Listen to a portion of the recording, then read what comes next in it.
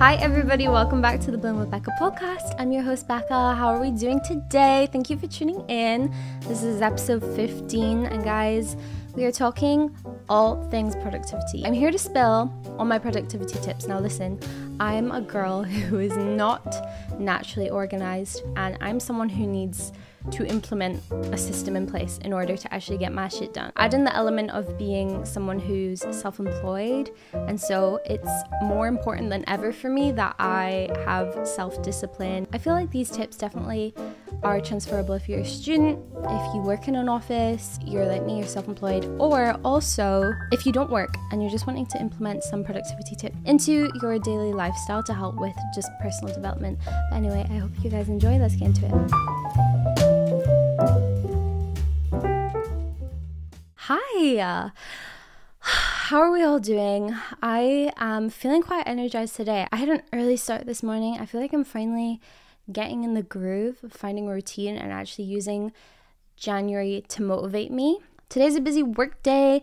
I thought it'd be, I don't know, just a perfect time to sit down and talk all things productivity. We've just come out of the Christmas period, the holiday period, where a lot of us slow down. And I know for me, when I take time off work, it's the like getting back into things, getting back on track, getting back into habits. That's almost the hardest part. And I just want to say if you're struggling, you're not alone, but I'm here to help. I'm your little, I'm today, I'm going to be your little internet bestie cheering you on, and you got this. I really don't have much to update you on. Like I said, um, this week's been pretty good for me in terms of work and healthy habits. Like, I'm really proud of myself. I've been in the gym a bit more this week. Um, let me tell you about the gym. I think I'm finally finding my groove with it, like, actually seeing progress with weightlifting. I've been weightlifting for honestly, it's probably coming up to like four years. Is that even right? Very on and off. And the beginning of my weightlifting journey was very sort of love and hate. Um, I definitely got into working out at the gym because seeing fitness influencers wanting their body types, which obviously is not a great goal to have, and it's never gonna get you far in the gym if that's your goal that you just want a six pack and you want like well for me you want a big butt you, you want to build a butt that absolutely can be a goal but like you need to pair it with actually enjoying what you're doing and seeing the benefits mentally physically rather than just aesthetically it's been a long journey for me like actually enjoying the gym and i have to give so much credit to Will because he's someone who's been weightlifting at the gym for like 10 years. And so I remember I started with it a little bit by myself just out of curiosity and I went with a friend. And I remember I literally went like twice a month. It was so not consistent. And I also remember feeling frustrated at never seeing any results. And it's like, girl, you're not going to go to the gym once, do three sets of eight squats and have your butt look completely different. No, it doesn't work like that. Um, and it wasn't until I started going with Will, and then I remember like we literally would have arguments in the gym because I kind of would be such a princess about it. I like didn't love it. I didn't get the point of it at first. I definitely looked at it in this very basic way of like, well, you're just picking up heavy stuff and putting it down. Like, this is not fun. It's not sport. I don't know why I'm going on such a ramble about this, but I just I feel like it's a good time to talk about it because January is the time when people are picking up new healthy habits and maybe you are going to the gym for the first time. And I feel like I've only now after like 4 years reached a point of getting it. And I'm not saying like this I'm not saying that to discourage you. I'm not saying, "Oh, it's going to take you 4 years to enjoy the gym." Not at all. I'm just talking about my personal journey with it, but I also want the main message to be like, if it is your thing, it is so worth it because I now really enjoy going to the gym. And for a long time, I never thought I was going to say that. I would get, like I said, frustrated at not seeing results, but giving myself like ridiculous expectations and time frames to see results, but also like frustrated with myself for not enjoying it. And I just thought of myself as like, well, you're just lazy or you're not fit, you're not healthy. And it wasn't that. It was like just not adjusting exercises to fit me and what I like doing. But yeah, it's only now that I'm like, first and foremost, enjoying it, seeing progress, lifting heavier like each time I go, which is a really rewarding feeling. Um, feeling just more confident with like different exercises.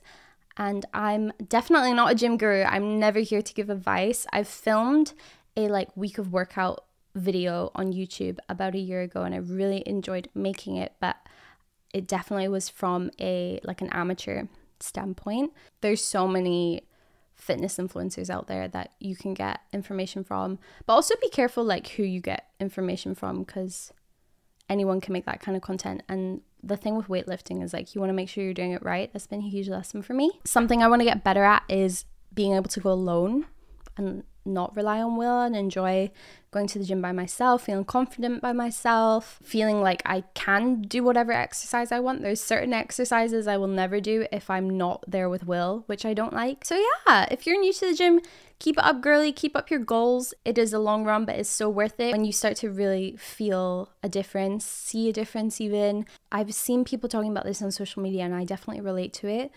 Um, it is like not even halfway through January when I'm filming this.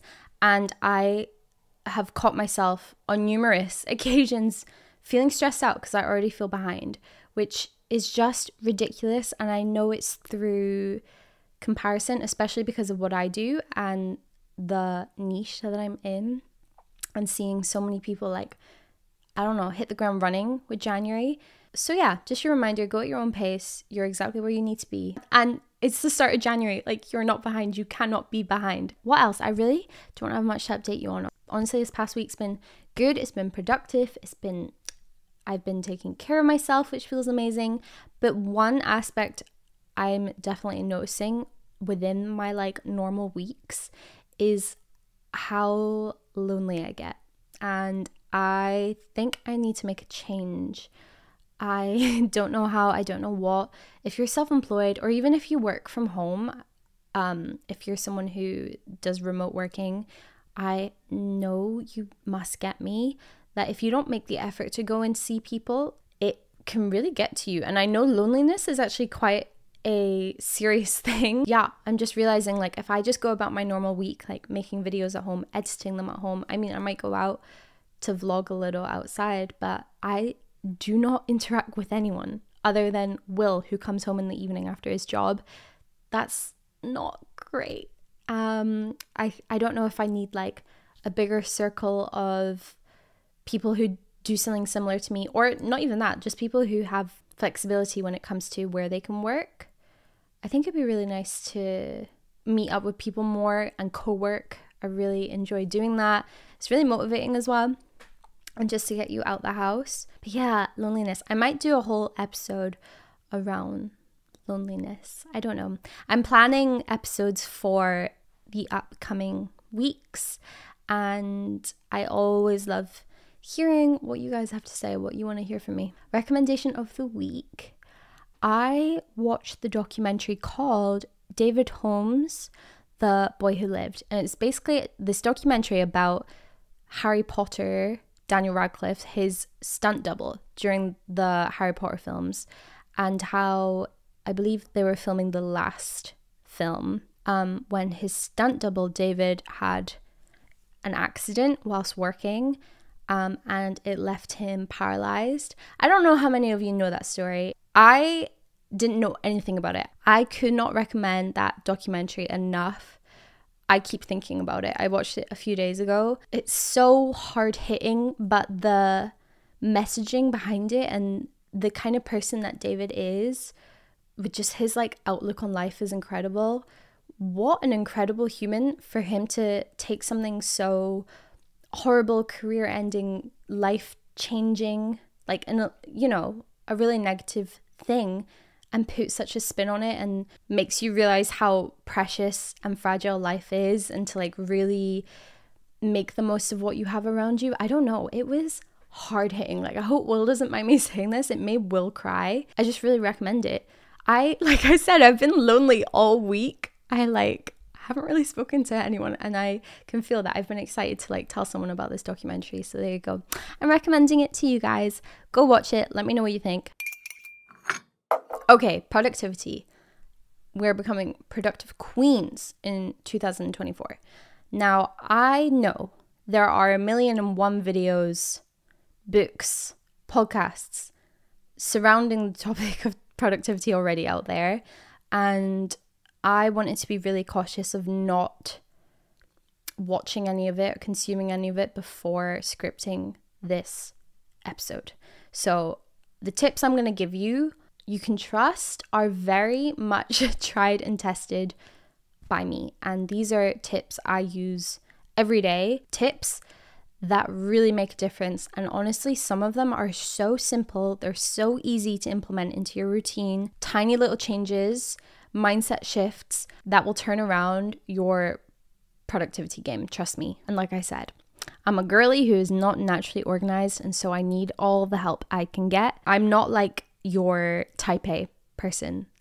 I'm not. I'm more of a one day at a time, just do as much as you can girl. I'm a hard worker, and you absolutely can be a hard worker, but without any discipline or productivity systems in place, you're not going to get as much done as you want. Okay, first tip, and we're going to start quite broad, but I didn't want to overlook this. And so, when it comes to thinking about your productivity goals in regards to work, fitness, life, relationships, whatever it is, it is so important to know your why and have that why at the front and center of whatever it is you are doing. Your why is going to serve as a driving force behind your goals and actions, and it's going to provide you with that motivation and purpose that you need. And believe me, when we come across obstacles, things getting in the way, setbacks, your why is more important than ever. It teaches you resilience, and I definitely have learned almost having that emotional connection to your why, to your goal, is gonna make that journey all the more important, all the more meaningful. I can give you an example of, say, you're in school, and for me, like the difference between doing a subject like, I don't know, let's go with biology. I hated biology in school, and doing a subject like music. I loved music and I naturally was better at it, and it, yeah, came more naturally to me. It was easier to perform well in that class. However, for whatever reason, say I knew I needed to get an A or a B in biology, that in itself is not enough of a why. You got to connect that why to something a lot more sort of emotionally valuable to you. So, is it so that you can then get into this course um, to go do something you actually really want to? That's a bit of a weird way of wording it, but I hope it just shows. Uh, I you can even look at me, someone who I 100% consider this my dream job. I think I'm so lucky to do this. It's still a pinch me moment when I wake up and this is my job. This is what I do every day. But there are elements and aspects of this job that I don't like, that I would rather not do, that take up a lot of time that I don't feel good at, etc., etc. The tasks that I am most likely to procrastinate and procrastinate the hell out of. So, when you have your why, like I said, at the center of what you do as your main focus, you're to feel that discipline and resilience when it comes to working towards your goals. Next one. I'm sure you've heard this before how important it is to plan your day, but strategically. Every morning, or if you're someone who prefers to do it the night before, you need to be planning your day and you need to be doing it in a way that categorizes your tasks and that doesn't make it complicated. You can actually keep this very, very simple. For example, I always recommend starting as simple as literally just ask yourself what is the one thing you want out of today? What is the one thing you have to do today?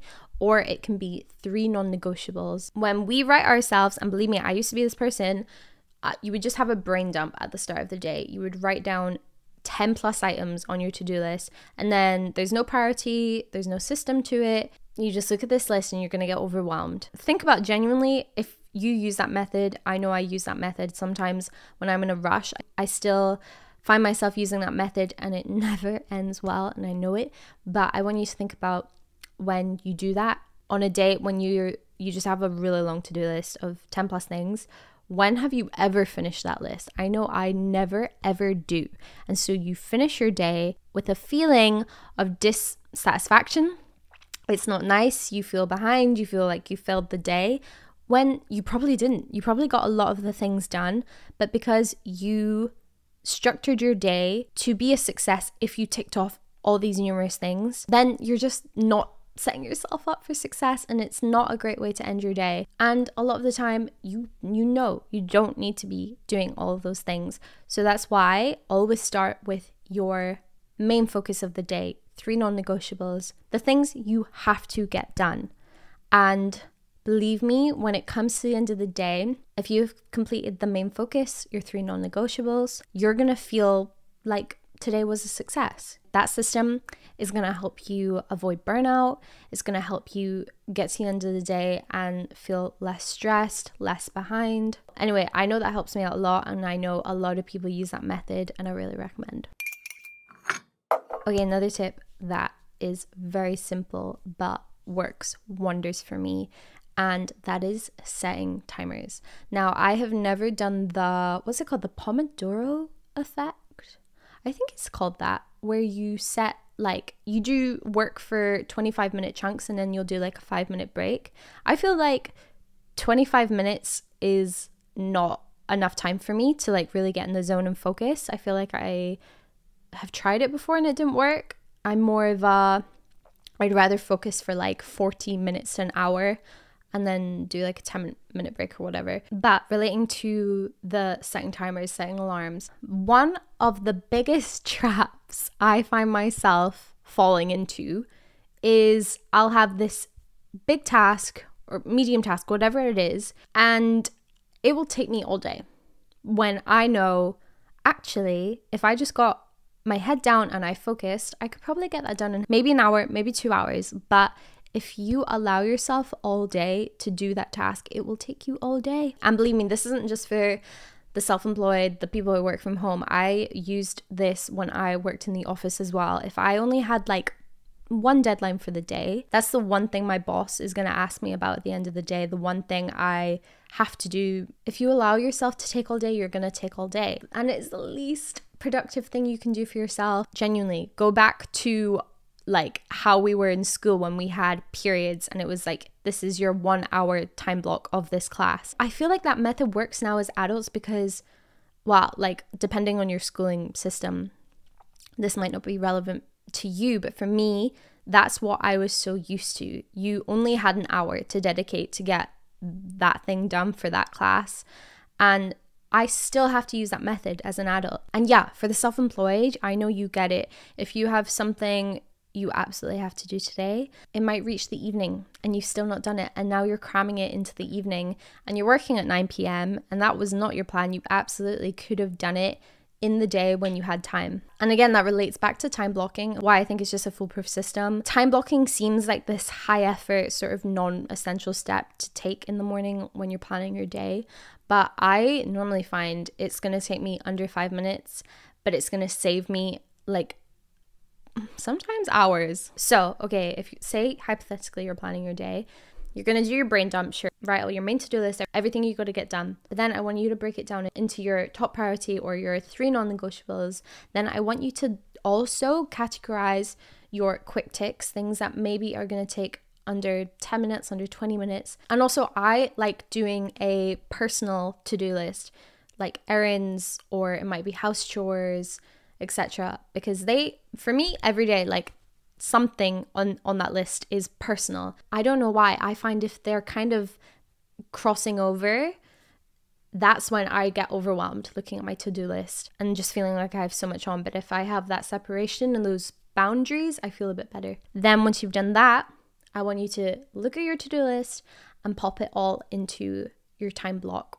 system. If you're not procrastinating this, this will take you under 10 minutes, I promise. When you time block, you are naturally going to prioritize tasks, which ensures that the important tasks are going to receive the time and attention that they need. Also, a little tip with scheduling your day, remember to put in the things you're excited for that you actually want to do, whether it's like you have something fun to do in the evening. Remember to include those things in your day. It can't just be like you look at your diary and it's bleak and you don't want to do today. Like, I think it's definitely good to have your balance in there. Also, okay, back to timers. Um, and specifically alarms, for me, a big, big tip that's so easy um, is when something pops into my brain and I know I have to do it or I have to do it at a certain time, I will literally just say it out to Alexa or I'll get my phone and I will set an alarm for that time. And then if it's something, say, for example, like a little task that I cannot do right now, I don't have time, I'm in the middle of something else. I don't know why I do this so much. I've gotten such a habit that, oh my God, it saved me in so many circumstances. Pop an alarm on your phone. I know on the iPhone, like you can set an alarm and you can title it. So, say it goes off at 2 p.m., and that's your reminder to email John. you can write that. Don't make the mistake I've done where I've set alarms on days, forgot to title it, and then an alarm goes off at 4 p.m. and I'm like, oh I know there's something really important I have to do right now and I've forgotten what it is. Next tip is use your breaks more wisely. Now, I believe it is so important that you take your break away from your desk. I always, I'm in such a habit of like, oh, I'm doing what I'm doing, I'm working away at it, and I can feel I need a break, I'm getting tired. So I will just reach for my phone and scroll through social media, and it doesn't feel like a break. You're not helping reset, regain your energy. You're not actually coming away from what you're doing properly. And if you're staying in your desk, there's almost like that blurred line between that being your workstation and also your downtime, your unwind place. It's important to both physically and mentally create a way clearer distinction between where you work and where you play, if you will. I know it's obvious and you're not going to do this with every break, but getting movement in. But genuinely, I find just standing up. If you're like me and you have a job where you work at a desk, you're sitting down a lot of the time, you're on a computer, getting up, literally just stretching your legs, walking to your kitchen, it makes a difference. I heard somewhere a while ago, and now I find myself doing this a lot, and I swear by this.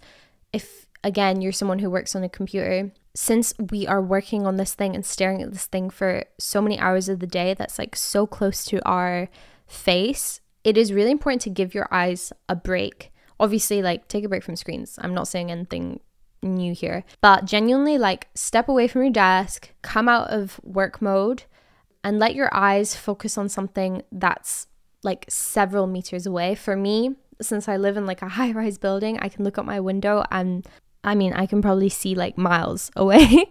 so, yeah, let your eyes relax and focus on something that's really far away. I find this actually helps me prevent headaches. It helps me regain focus faster when I do go back to work. Sometimes, with using my breaks, like I'll go call my sister. Some form of social interaction I find helps me personally. Um, you might want to go read a book. That's obviously a really nice way to spend a break. I mean, not a whole book, that might take up a little bit too long. But say you want to read a chapter. It's just a crazy difference with like those breaks where you're actually relaxing your mind compared to the breaks where, where you're still switched on and you're still sitting in the same place and you're not keeping track of time. Yeah, biggest lesson for me there is a huge, huge difference between procrastination and actually taking a break.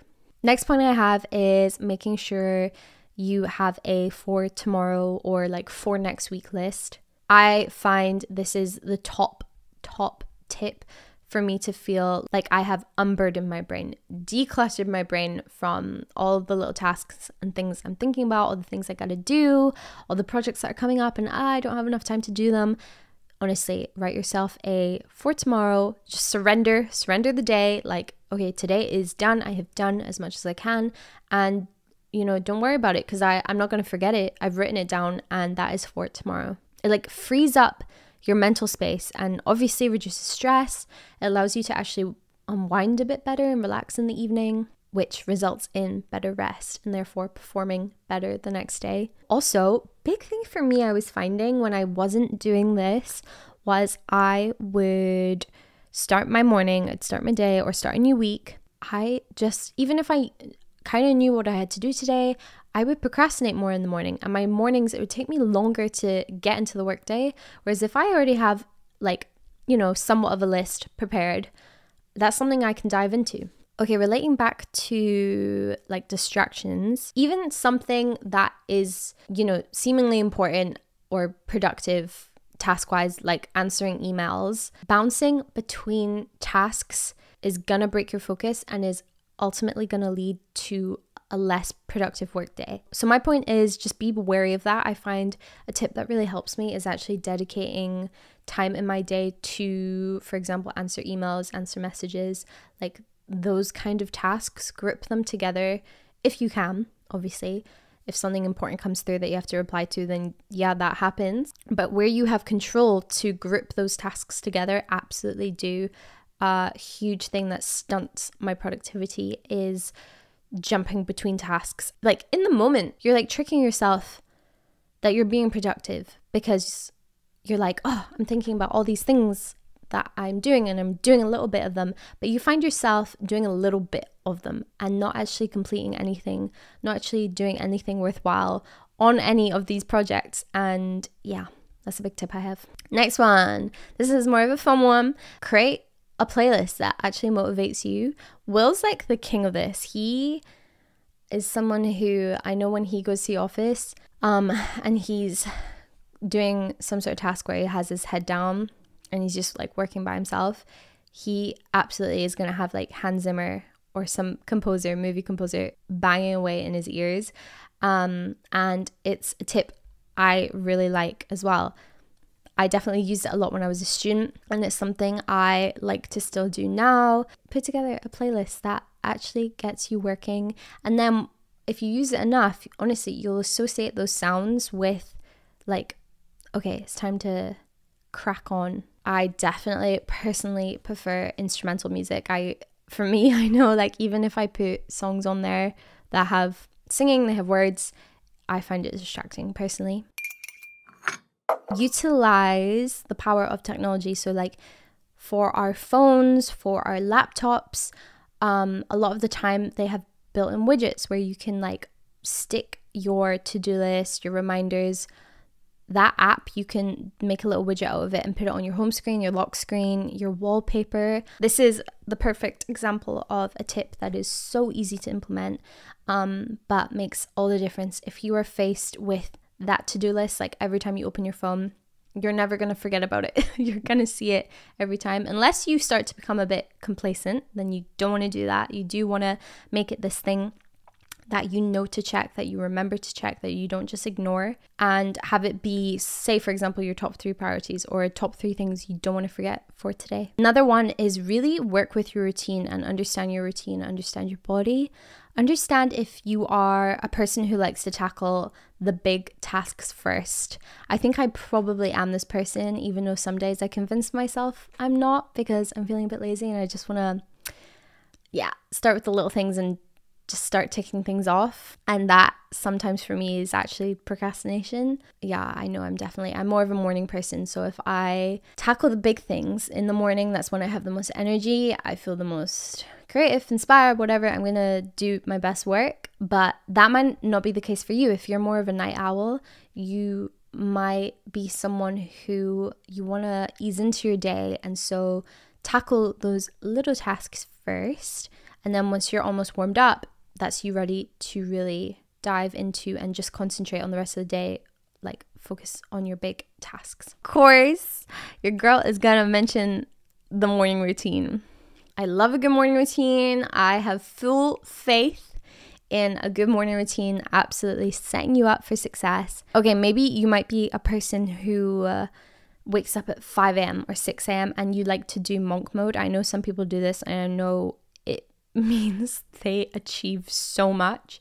I am only ever this person if I have like a strict deadline that day. That might be the morning routine that works for you. Like you dive into work first thing when your brain is hasn't been like distracted yet and you might get your like mundane tasks out of the way. Yeah, that system might work for you or you might be a person who likes to really have time for themselves in the morning and do these nice rituals, these self care steps that puts you in the right headspace, ensures that you do get that time for you, and then you jump into work. My point is the power of making sure you optimize your morning routine to fit you. It's not just about your morning, it's how it's gonna impact you for the rest of the day. Next one, help future you out as much as you can. And so, like, for example, I am not a fan of meal prepping. I've tried it, I hate it. I hate spending my Sunday cooking up a bunch of things and then I know I'll get sick of eating that same dinner or same lunch four days in a row. I admire you. I so look up to you if this is you, but I, oh, I'm not that person. I wish I was. However, my little spin on it, because I know for me, especially lunchtime as someone who works from home, lunchtime is where I can easily lose like so much of my afternoon just trying to make some sort of recipe or thinking about what to eat, etc.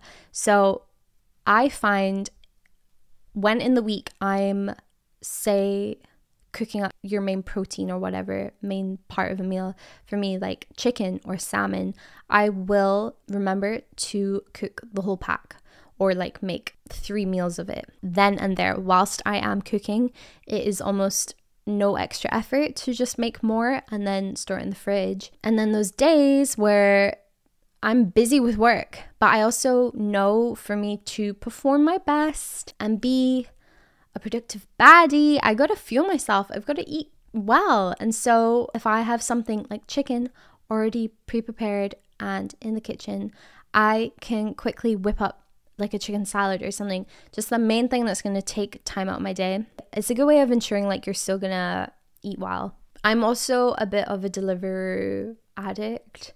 It's actually getting worse. And if I order something that's healthy, then I tell myself like there's nothing wrong with it. But then, of course, I could be saving money. I could be saving a lot of money. Ordering your lunches is not cheap. Sometimes it's a nice treat. But yeah, by doing that little trick, it helps me just eat more home cooked meals. Last tip, and maybe one of my favorites, but sometimes the hardest bit about being productive is just starting and starting the task, starting that task that you've been putting off, that you've been procrastinating, that you've been dreading. And that's why I love the five minute rule. Um, and this has worked for me on so many occasions. If I say have a big project or a big video to edit that I'm a bit overwhelmed about how to edit, just something that I've been putting off, I will tell myself, it's almost like you trick yourself. You tell yourself, you know what, I'm just gonna spend five minutes of my time on this just five minutes. And after five minutes, I can give up. Set a timer, be meticulous about this, set a timer, and just start. Like, all excuses out the window because it's only five minutes, right? So get to your desk, do it. Like 99% of the time, you are going to find yourself working past those five minutes. And then there you go. You've broken that uncomfortable feeling of starting a task. It's now suddenly way less daunting. It's quite a good little strategy for overcoming that initial resistance and it stops it feeling like such a high effort thing.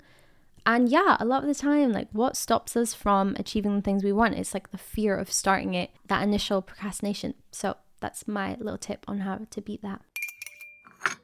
Those are my productivity tips. I'm now realizing I totally should have asked you guys what yours are. I feel like I'll I'll still put up a little thing on Instagram and I don't know, maybe I'll read them in the next episode or I'll just share them on Instagram. If you're not already following the Instagram, make sure you are so that you can get involved. Sometimes I will share like the theme of the week and I'll get your two cents on it, I'll get your opinion on it, whatever you have to say. Um but yeah, this week your girl forgot. Sorry. But I hope you're having an amazing week. I hope this podcast put you in a good mood. I hope it put you in a mood to make you feel like you can do anything. And it's true, you can achieve anything. Also, just a reminder like the most successful, most productive people in the world do not do all these things every day. We're human and you absolutely have to remember that. We're, we're literally not robots. Like, we're not designed to just work 24 7 and not take breaks. So, take care of yourself, but also believe in yourself. You got this. And yeah, thank you so much for tuning in to another episode of Bloom with Becca. I'll see you guys next week. Sending all my love your way. Mwah. Thank you, my loves, for listening to this week's episode of Bloom with Becca. Be sure to follow the Bloom with Becca Instagram page to get involved each week with your questions, your stories, your thoughts on different topics, all that good stuff. I'll see you guys next week for a new episode. Love you. Bye.